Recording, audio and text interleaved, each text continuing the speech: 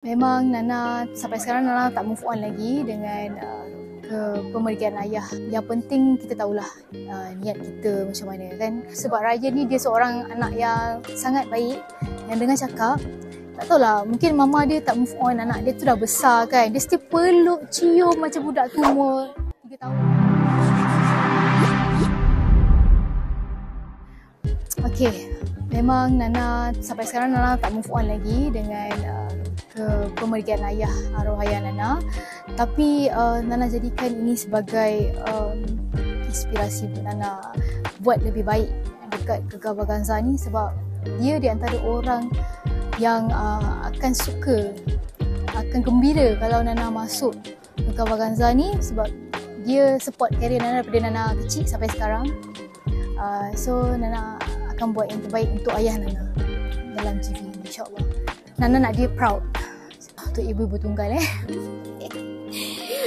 Okey, um, Nana pun tak adalah hebat mana pun nak bagi nasihat. Cuma uh, yang penting kita tahulah uh, niat kita macam mana kan. Uh, macam Nana, Nana memang uh, bekerja cari duit dalam bidang seni ni untuk Sara Ryan untuk uh, buat yang terbaik untuk anak Nana, untuk family Nana dan untuk ibu ibu ibu tunggal di luar sana walaupun kita tiada suami tapi janganlah rasa bersedih hati ya sebab kita ada anak kita ada banyak benda yang kita boleh syukuri. Uh, even kita kekurangan tiada suami tapi kita ada anak ada kawan-kawan ada environment yang best ada pekerjaan yang baik so kita syukurilah apa yang dah Allah Taala berikan kepada kita. Kesabaran uh, membesarkan Ryan ni dia tak adalah susah mana. Sebab Ryan ni dia seorang anak yang sangat baik yang dengan cakap Alhamdulillah setakat ini. Setakat ini dia memahami mama dia Ha, cuma biasalah budak-budak remaja kadang-kadang kan adalah dia punya perangai dia sendiri kan.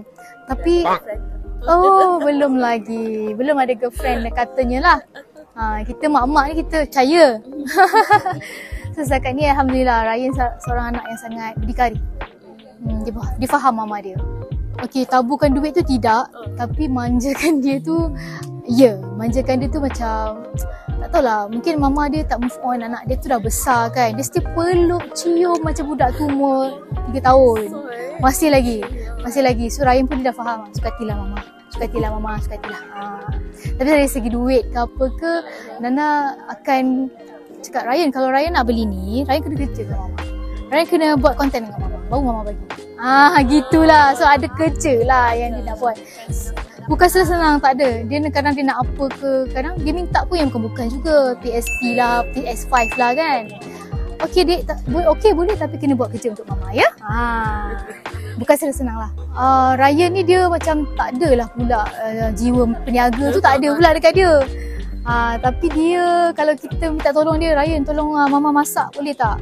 Tolonglah, tolonglah Ryan, tolonglah mama ada banyak order ni, orang tengah order ni. Dia akan tolong okey lah, okey lah. Dalam keterpaksaan lah. Tapi ada gaji dia, jangan lupa.